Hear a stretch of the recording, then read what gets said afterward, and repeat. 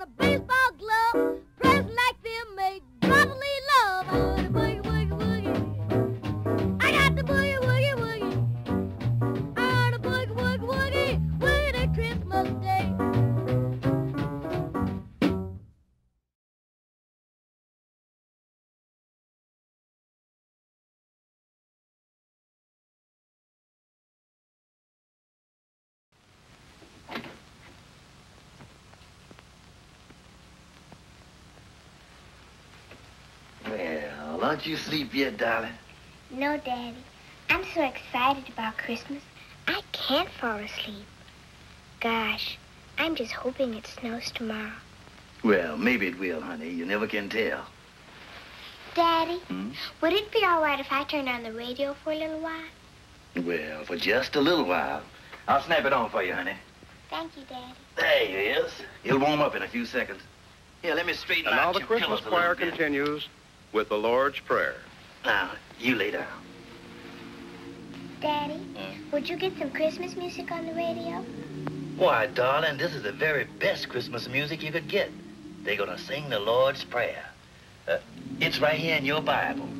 It's the sixth chapter of St. Matthew's. I've been saying the Lord's Prayer with Mommy. Yeah, I know you is. But what does the Lord's Prayer mean, Daddy? Lord's Prayer. Well, I'll explain it to you, darling. It means an awful lot. And with the world like it is today, it seems to have a bigger meaning than ever before. But what does the Lord's Prayer really mean, Daddy? Well, uh, you just be quiet and I'll explain it to you. The first line of the Lord's Prayer is this Our Father, which art in heaven. That means Father of all that is good, where no wrong can dwell. Then it says, Hallowed be thy name. That means we should love and respect all that is good. I see. And then it says, Thy kingdom come, thy will be done on earth as it is in heaven. That means, my darling, as we clean our hearts of all hate and selfishness and fill our hearts with love, the good, the true, and the beautiful, then earth where we are now will be just like heaven. That would be wonderful, Daddy. And then it says, Give us this day our daily bread.